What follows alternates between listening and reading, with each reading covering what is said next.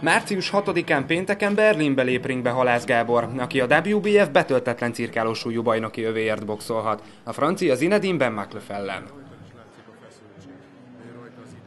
A gálát megelőző napon egy bevásárlóközpontban átmérlegre a két bunyós.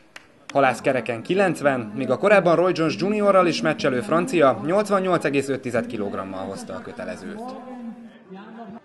A berlini eseményen ringbe lép még a nehéz súlyú Farkas Gábor is, aki egy igazi szupersztárral, a korábbi többszörös K1 és kickbox bajnok Tyron Sponggal csap össze.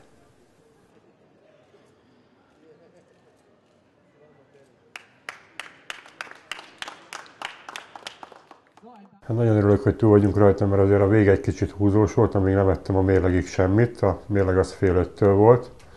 Nem tudtunk itt a, előtte próba mérleget se csinálni, úgyhogy gyors leedzettem még egy lazát, hogy biztos benne legyek. 90 kg, egy kicsit kevesebb is voltam, benne voltam, minden rendben volt, tettem utána egy jót, úgyhogy most már sokkal jobban érzem magam. Összenéztünk az ellenféllel, én úgy éreztem kicsit zavarba volt, talán meg is volt lepődve, hogy ekkora vagyok, hogy jóval nagyobb voltam egy számmal legalább nála, úgyhogy szerintem ez is mindenképpen pozitív és előny.